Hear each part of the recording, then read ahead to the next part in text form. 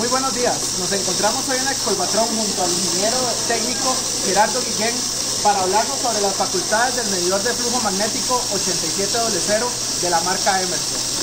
Uno de los problemas más habituales que nos suceden cuando medimos flujo en líquidos se debe a la presencia de aire entrampado o sólidos en la línea, los cuales nos, al, al estar presentes nos generan valores erráticos en la medición. En este momento Gerardo les va a enseñar cómo el equipo es capaz de cambiar la frecuencia de las bocinas de forma que el ruido generado por sólidos se puede llegar a filtrar.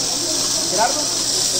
Bueno, como pueden ver por acá, pueden notar cómo el flujo se muestra bastante errático, lo que nos genera una imprecisión a la hora de eh, contar el volumen. Lo que vamos a hacer es hacer el cambio de la frecuencia de la bobina, lo cual nos va a eliminar ese error que tenemos por el, efecto del ruido de las bolitas que tenemos en la línea. Entonces aquí como pueden ver ya lo tenemos configurado en 5 Hz y lo vamos a cambiar a 37 Hz. Él en este momento va a cambiar esa frecuencia y nos va a permitir mostrar un valor mucho más estable porque no se ve afectado por ese ruido de baja frecuencia. Entonces como pueden ver se mantiene bastante estable en lo que son 30 litros por minuto.